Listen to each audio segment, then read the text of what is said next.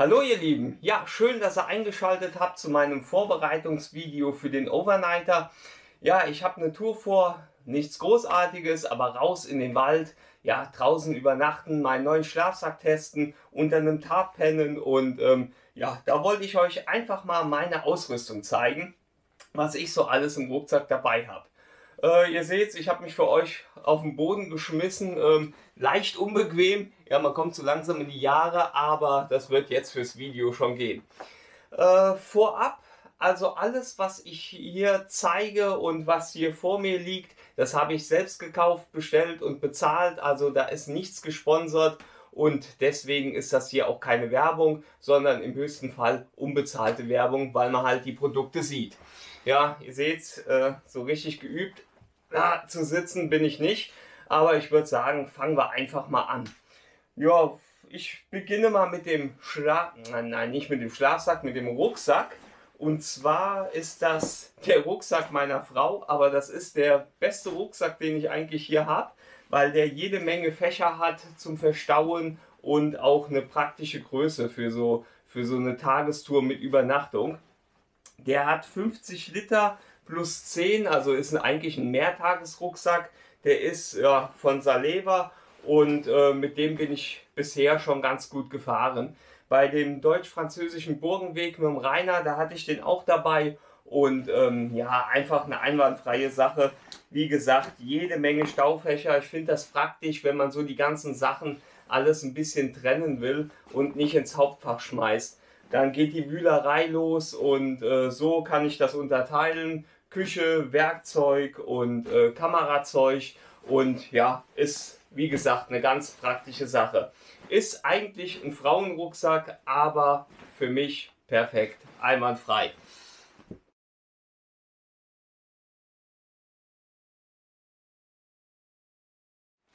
Ja, ich würde sagen, ich fange mit dem Schlafzimmer an. Das ist zum einen eine Plane, die ich dann auf den Waldboden lege und äh, ja, damit die Isomatte, die ich dann dabei habe, das ist so eine ja, ganz billige, die habe ich mir mal im De Decathlon gekauft, wirklich 3 Euro, 2 Euro, wenn überhaupt. Und ähm, die hält schon ewig. Also die habe ich schon sehr, sehr oft benutzt. Die kommt dann auf die Plastikplane. Und hier habe ich auch, das ist von Hikeman, eine kleine aufblasbare Matratze. Äh, Top-Teil, also ich finde das Ding super. Und ja, das kommt dann hier auf das Aluminiumteil und da bin ich eigentlich von unten ganz gut isoliert. Also wie gesagt, Plastikplane, diese Isoliermatte und dann noch die ja, Luftmatratze, die kleine und das ist dann eine perfekte Isolierung. Das ist dann der Untergrund und ähm, oben drüber halt eben das Tarp. Das ist ein 3x3 Meter Tarp. Das habe ich ehrlich gesagt noch nie benutzt. Ich habe es mir mal gekauft für eine Wanderung mit dem Sebastian. Ähm, der hat das dann mühevoll aufgebaut, seins. Und ich habe in der Hütte gepennt, weil ich einfach zu fertig war, das Teil aufzuspannen. Aber dieses Mal, wenn ich mit dem ähm, Boris vom Kanal Boris Outdoor unterwegs bin, da will ich das unbedingt mal aufbauen. Und ähm, ja, habe mir schon einige Videos vom Fritz Meinecke angeguckt, wie man so Tabs aufbauen kann, aber ich werde wohl bei der ganz einfachen Variante bleiben, einfach das Ding, äh, die Leine zwischen zwei Bäumen spannen, drüber schmeißen, links und rechts abspannen und das war's dann. Da sind Heringe dabei und wie gesagt, mit 3x3 Meter denke ich mal, das wird das Standardmaß so sein für Tabs. Ich weiß es nicht genau, aber da bin ich mal ganz äh, äh, guter Dinge, dass das ausreicht. Ja, wen es interessiert, das ist von Kalinko und ähm, ja, was hat das gekostet? Ich glaube 39 Euro bei Amazon habe ich das irgendwann mal gefunden. Ich wollte nicht so sündhaft viel Geld ausgeben und das war so ein Zwischending. Die meisten haben so 19 Euro gekostet und dann die anderen gingen bei, was weiß ich, 69 Euro los und da habe ich dann so ein Zwischenteil gefunden für 39 Euro. Mein Schlafsack. Ich hatte euch ja gefragt, ähm, ja, habt ihr da Tipps für mich? Und da kamen jede Menge ähm, Antworten. Und nochmal an der Stelle vielen, vielen Dank für die ganzen vielen wertvollen Tipps. Und an der Stelle sei erwähnt, ich bin einfach eine Frostbeule. Und ich muss sagen, alles unter 25 Grad plus ist bei mir Winter. Das ist also, wenn andere im T-Shirt und kurzer Hose rumrennen, dann, ähm, ja, dann habe ich schon eine Jacke an. Und hier habe ich mir einen, ich muss mir erstmal eine richtige Position suchen, wie ich sitze. Meine Güte, jetzt kriege ich da einen Krampf im Fuß. Das kann echt nicht wahr sein. Naja, auf jeden Fall habe ich gesucht und gesucht und ja, ich war nicht bereit, ähm, 600, 800 Euro für einen Daunenschlafsack auszugeben, der zwar winzig klein ist und auch bei Minusgraden eine, ja, eine Komforttemperatur hat, ähm, das war mir einfach zu teuer. Und dann bin ich durch einen Tipp auf die Firma ähm, Urberg äh, gekommen. Die ist aus Skandinavien und ähm, die machen halt Winterschlafsäcke, die so Komforttemperaturen haben von minus 10, minus 14 Grad. Und da kam mir der genau richtig. Also hier, der hat, wie gesagt, eine Komforttemperatur von minus 14 Grad. Jetzt werden einige die Hände über dem Kopf zusammenschlagen und lachen. Aber wie gesagt, ich schwitze lieber im Schlafsack, als äh, dass ich friere. Ich finde das grauenhaft. Nachts draußen im Zelt unterm Tab ist ja mal vollkommen egal, aber zu frieren. Und das ist ein Daunen-Synthetik-Gemisch. Der hat ursprünglich 260 Euro sollte der kosten und ich habe ihn dann mit Prozenten für 160 Euro ähm, mir gekauft und ja, also wie gesagt, Daunen-Synthetik-Gemisch. Das ist ein Unisex-Schlafsack. Der hat einen Wärmekragen, der hat äh, ein Fach für, für ein Kissen in den Nacken und ja, unten eine Öffnung an den Füßen, dass man auch sitzen kann in dem Schlafsack und könnte äh, dann ja bei Extremtemperaturen da drin sitzen bleiben und essen oder sich was zu kochen zu machen. Und ähm, ja, von daher ist das also meine Wahl gewesen. Ist ein Mordstrümmer, wirklich ein Riesenteil, aber wie gesagt, das war mir egal. Ich will nachts schwitzen und nicht frieren. Und somit habe ich dann diese Wahl getroffen. Ich bin mal gespannt, ist ja der erste Einsatz, aber ganz ehrlich, es soll äh, am Samstag, Samstag auf Sonntagnacht soll es plus 4 Grad werden. Also das wird nicht die ideale Temperatur sein, um das zu testen. Aber trotzdem, der kommt mit und den werde ich einweihen. Ja, der hat wie gesagt ein Fach für ein Kissen und das Kissen, das muss unbedingt mit. Das ist hier so ein aufblasbares Kissen. Das habe ich mal aus einem holländischen Billigmarkt. Da habe ich mir direkt zwei, drei auf Vorrat gekauft. Und ja, ohne geht nicht mehr. Ihr wisst, bin mittlerweile über 50 Jahre alt. Da braucht man einen gewissen Komfort. Ja, das war es eigentlich zum, ja, zum Schlafabteil, zur Übernachtung.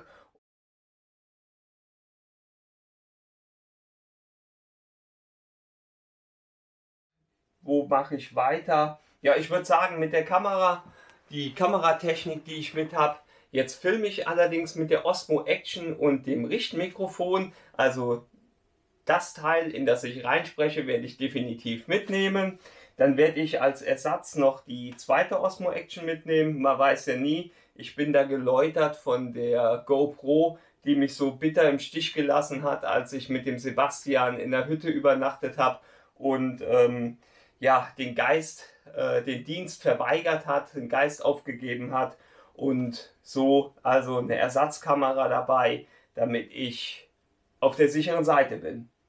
Dazu habe ich dann vier Ersatzakkus und eine Powerbank damit ich notfalls das Handy oder mal einen Akku nachladen kann. Hier die Powerbank, die reicht jetzt für ähm, zwei Ladungen. Das ist ein bisschen wenig. Ich habe mir eine neue bestellt, die soll morgen kommen und ähm, die ist dann deutlich stärker. Die wird dann also mitkommen und die hier nur symbolisch zum Zeigen. Als Licht für ja, die Nachtaufnahmen, Abendaufnahmen habe ich zwei Ulanzi-Lampen und äh, ja, die sind also Bombe. Die habe ich vor Jahren, habe ich mir die mal gekauft, als die rauskam und äh, ja, habe sie direkt dem Sebastian empfohlen und mittlerweile, die hat sich voll durchgesetzt. Also das Teil ist stufenlos in der Helligkeit regelbar. Du kannst Farbmodi wählen und der Akku von dieser Ulanzi-Leuchte, der hält ewig. Also zwei Stunden, drei Stunden ist überhaupt kein Problem, das Ding am Laufen äh, zu halten und äh, echt Bombe. Ich nehme beide mit, weil wie, wie der Teufel es will, filme ich vielleicht mit zwei Kameras, leuchte dann irgendwie aus. Also ich will deutlich mehr Aufnahmen in der Nacht machen und ähm, ja, von daher die beiden Lampen. Ursprünglich hatte ich geplant, noch die ZV1 mitzunehmen, die Sony mit dem 1 Zoll Sensor, weil die ist echt unschlagbar äh, bei Nachtaufnahmen. Äh, da kannst du, da kannst du hier so eine Osmo Action kannst du halt vergessen. Ja, dagegen. Ich meine, in Verbindung mit dem Licht machten die schon gute Aufnahmen in 4K, aber man hat dann doch immer so ein leichtes Rauschen im Bild und ja, mit der ZV1, mit dem 1 Zoll Sensor, das ist gestochen scharf, äh, auch bei Dunkelheit. Wenn du da eine kleine Lichtquelle hast, das ist mega. Naja, aber ich lasse die ZV1 zu Hause, weil das wird mir dann viel zu viel. Ich habe es am liebsten wirklich nur mit einer Kamera zu filmen und nachher im Schnittprogramm habe ich alle Dateien untereinander und muss da nichts sortieren und hin und her. Und ähm, von daher wird es also nur die Osmo Action, mit der ich gerade filme. Und halt das Ersatzteil. Als Stativ habe ich hier diesen Selfie-Stick, ja, das Dreibein, den man ausziehen kann. Und äh, ja, das sollte für diese Kamera dann reichen. Und falls ich vielleicht noch mit einer zweiten Kamera filme, äh, vielleicht das Essen zubereiten oder Feuer machen, wie auch immer, dann habe ich hier noch dieses äh, Dreibein dabei. Und äh, ja, habe dann halt zwei Stative zur Auswahl. Ja, das war es eigentlich. Ach ja, hier, das habe ich auch noch dabei. Das bricht gerne mal ab. Hier diese Halterung äh, für die Osmo Action, für das Gehäuse, damit man sie halt eben auf äh, ein Stativ schrauben kann. Und ja, das war es dann aber auch. Die äh, SD-Karten, die drin sind, das sind 64 GB Karten, das muss reichen. Also ich habe keine weitere Karte dabei und von daher, das muss dann halt langen, langt aber auch. Also die kriege ich niemals voll. Ja, ich würde sagen, weiter geht's, ne?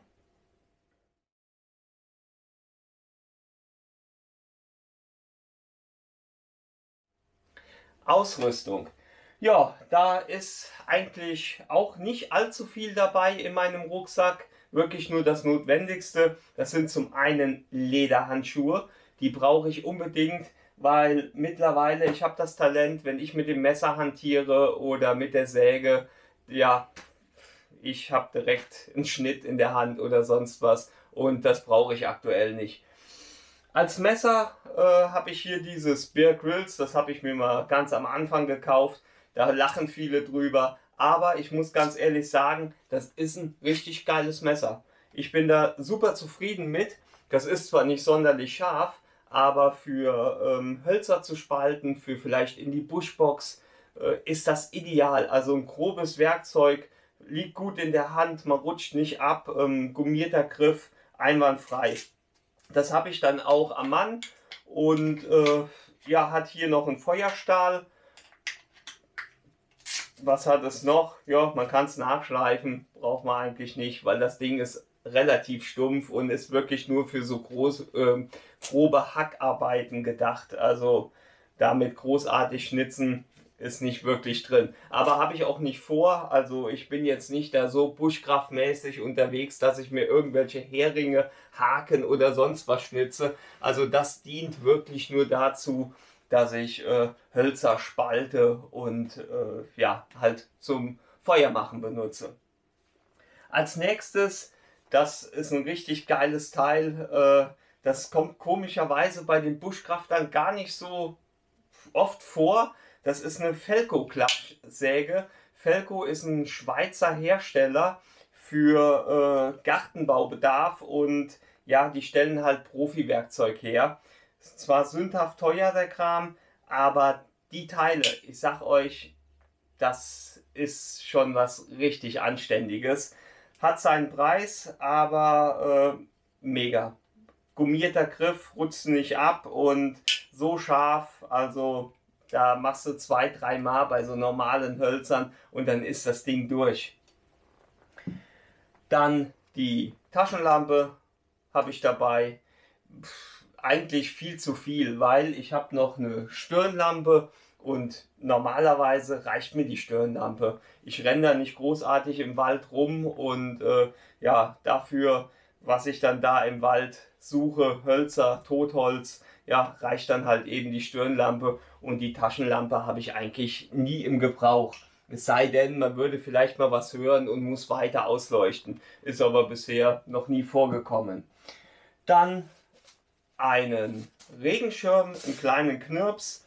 Das habe ich mir vom Sebastian abgeguckt. Das ist einfach der ideale Regenschutz. Nimmt nicht viel Platz weg. Ich habe zwar so ein äh, Regencape, äh, Jacke, Hose und das ist aber dann so ein Paket und ganz ehrlich, wenn man durch den Regen rennt, dann tut es der Schirm auf jeden Fall und später äh, ist man sowieso, irgendwann, wenn es Dauerregen ist, ist man sowieso klitschnass, auch wenn man Regenklamotten anhat. So meine Erfahrung. Gottes Willen kann ja jemand sein, der richtig gute Klamotten hat und sagt, der redet totalen Quatsch. Meine Regenkleidung, die bleibt den ganzen Tag äh, dicht. Ja, Hygienebeutel, da ist nicht viel drin, eine Zahnbürste und äh, die Zahncreme. Dann noch ein Vlies, ein Fließtuch, hier so Mikrofaservlies ist das, ja, um sich mal die Hände abzuputzen oder irgendwo zu erfrischen im Bach, was jetzt natürlich bei der Jahreszeit nicht mehr so der Fall ist. Also ich meine, sich zu erfrischen. Dann bin eigentlich viel zu schnell, oder? Schratter das so runter? Naja, egal. Soll ja auch nicht zu lang werden, das Video.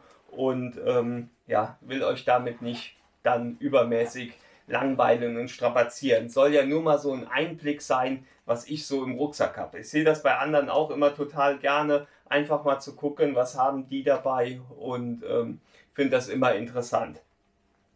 Ja, wie gesagt, erste Hilfeset, da habe ich, ähm, das ist so ein Standardpaket, das ist jetzt nichts großartig erweitertes. Da sind die Mullbinden drin, ein Pflaster in verschiedenen Art und Weise und eine Schere dann meine Tabletten, die ich mittlerweile leider benötige, die sind auch da drin. Da habe ich so einen kleinen Vorrat drin, falls ich mal unterwegs bin und meine am Bus oder ja im Hotel oder sonst wo vergessen habe. Dann habe ich hier immer noch in dem Erste-Hilfe-Set meine Tabletten.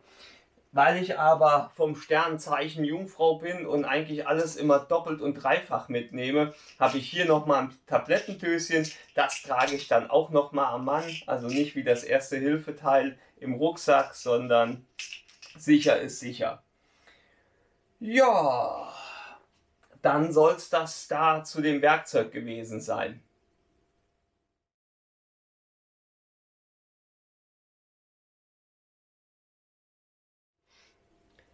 Weiter geht's mit der Küche. Küche ist mein ja, Drangia mit am Start. Da habe ich einmal die Pfanne natürlich. Wo soll ich sonst meine Bratwurst drin machen? Und den kleineren Topf, das sind ja zwei Töpfe in dem Drangia-Set mit drin. Den kleineren Topf, den habe ich rausgenommen, habe also nur den großen Topf dabei. Und ja, wer sich damit noch nicht auskennt, soll ja Leute geben, die auch erst mit dem Thema anfangen. Das ist also ein Spirituskocher dieser Trangia und äh, ja, das ist hier der Brenner. Der wird dann mit Spiritus befüllt. Man hat hier noch einen Ring, mit dem man die Flamme regeln kann.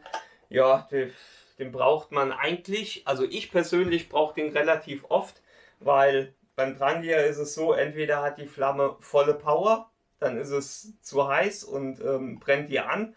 Oder aber du machst den Ring drauf, dann hast du halt ein bisschen weniger Hitze und dir verbrennt der Kram nicht so schnell.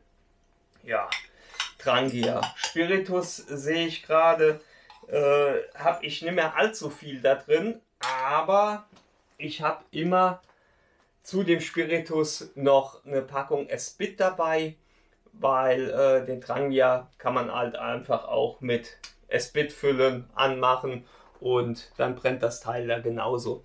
Also der Trangia, dieser Brenner, dient dann einfach nur als Abbrennvorrichtung.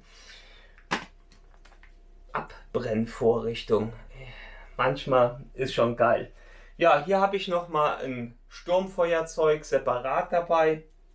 Das habe ich immer im Trangia und dazu noch ein Feuerstahl. Der ist auch im Trangia fest drin. Falls das Gas mal leer ist, das Feuerzeug kaputt. Also kriegst du hier mit dem Spiritus immer an. Das funktioniert auch echt super. Eigentlich müsste man gar kein Feuerzeug mitnehmen. Dann ein kleines Messer.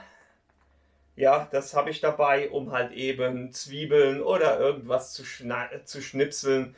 Das äh, eignet sich dann auch mehr zum, zum Kochen oder Schnitzen, sag ich jetzt mal, als dieses riesige Messer, was ich dabei habe zum Holzhacken. Was auch immer im Trangia ist, also die Sachen, die ich euch zeige, die sind jetzt immer in diesem Pot vom Trangia drin und die sind immer dabei. Also bei jeder Tour. Egal ob ich Fahrrad fahre oder wandern gehe. Also ich räume den Trangia nicht aus und äh, tue mir nur die Sachen rein, die ich benötige, sondern es ist einfach so. Oh. Es ist einfach so, dass halt eben das Zeug immer da drin ist und ich es dann zur Hand habe, wenn ich es brauche. Das hier ist so ein Universal-Besteck. Das habe ich, glaube ich, mal im Norma gekauft. Also ihr seht, das ist bei mir alles relativ günstig äh, und ja, wie soll ich sagen, nichts ultra light, sondern das ist alles eher ultra schwer. Ja, hier hast du halt Messer, Gabel, Löffel dran und äh, ein kleines, hier so ein, so, so ein Spatel, äh, Flaschenöffner, Korkenzieher. Ja, halt wie so, ein, so eine Art Schweizer Messer, nur in billig. Kienspan habe ich auch dabei, falls man dann doch mal ein richtiges Feuer macht. Das ist dann immer eine gute Sache. Klar, wenn man dann Spiritus dabei hat oder Esbit, könnte man dann auch äh, das Feuer entzünden. Aber hier, das hat halt so Abenteuercharakter. Man kann auch das Feuer mit dem Feuerzeug anmachen. Da brauchst du auch keinen Feuerstahl. Aber es macht halt mehr Spaß. Man ist draußen, man will ein kleines Abenteuer erleben und äh, ja, dann nutzt man halt sowas. Dann zum Kochen, um die Speisen ein bisschen zu verfeinern, habe ich hier Maggi in Miniaturausführung, Salz, ja, Öl. Öl habe ich immer dabei, das, das braucht man einfach, egal was man macht, auch selbst wenn man eine fettige Bratwurst macht, äh, wenn der Trangia, die Pfanne kein, kein Öl hat, dann hat man da keine Röstaromen oder keine schöne Bräune äh, am Fleisch und von daher immer Öl dabei. Diesmal habe ich dabei äh, ein, ja, so ein Reisgericht, äh, Curry Chicken ist das und ja, da bin ich mal gespannt. Das werde ich auf jeden Fall machen, aber da gibt es auch noch eine Fleischbeilage zu. Also nicht nur die kleinen Hühnerfetzen, die hier drin sind, sondern da kommt noch was Anständiges dabei, weil das wäre ein bisschen wenig für den Abend. Die Tasse kommt mit, weil morgens brauche ich meinen Kaffee und dafür habe ich hier so, äh, ja, so 3 in 1 Kaffee, Milchkaffee ist das und äh, die sind ganz praktisch. Einfach nur reinkippen, umrühren, fertig. Eine Flasche Wasser, klar, für unterwegs mal äh, was zu trinken und vielleicht auch, wenn man dann kein Wasser vor Ort hat, ja, um sich was zu kochen. Ne? Jetzt muss ich aber mal gucken, das hier ist Medium, das muss ich noch austauschen. Da nehme ich stilles Wasser mit. Ja, das war es eigentlich im Großen und Ganzen. Naja, gut, hier habe ich noch dann eine Jacke eine Fließjacke, die ich mitnehme. Die werde ich aber anhaben, denke ich mal. Und vielleicht für nachts noch eine, ja, eine Weste, eine wärmende. So werde ich dann auch wohl losspazieren an dem Samstag, sprich ja, ich muss mal gucken, wann ich das Video hier hochlade. Es kann sein, wenn ihr das Video jetzt hier heute seht, äh, dass es schon Samstag ist und ich mit dem Boris schon unterwegs bin. Ja, meine Trekking-Outdoor-Hose, hier meine äh, Bergwanderstiefel und ähm, das war's. Also mehr kommt nicht mit. Ja, das ein oder andere Kaltgetränk vielleicht noch und natürlich noch ein paar Essenssachen. Ich hoffe, euch hat meine kleine, mehr oder weniger spontane Vorstellung hier gefallen. Über ein Like würde ich mich freuen. Und ähm, ja, ich würde sagen, dann sehen wir uns nächstes Wochenende wieder mit dem Video von der Übernachtung draußen. Und ich hoffe, es wird noch ein bisschen kälter, damit ich meinen Schlafsack testen kann. Bis dahin, euch und eure Lieben alles Gute, macht's gut. Ciao, euer Dirk on Tour.